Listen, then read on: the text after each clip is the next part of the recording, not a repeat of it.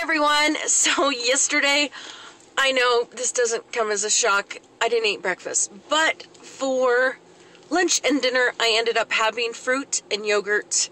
And then for dinner, I also added chicken with uh, vegetables. Uh, the green giant healthy colored band vegetables is the one that I had.